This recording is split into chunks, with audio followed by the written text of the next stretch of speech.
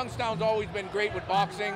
Um, I've been fortunate for the last 35 years to have good shows like this. We have a, a great following at Southside Boxing Club, and uh, as you can see, they're still piling in the door, and uh, we got a pretty full house. So uh, it means a lot, especially around the holidays. Everybody getting out, having a good time. We're just trying to keep this going, keep some of these young kids off the street, and and see what we can do for them. The crowd, the people, the holidays. Um, we got a great main event. We got a great co-feature.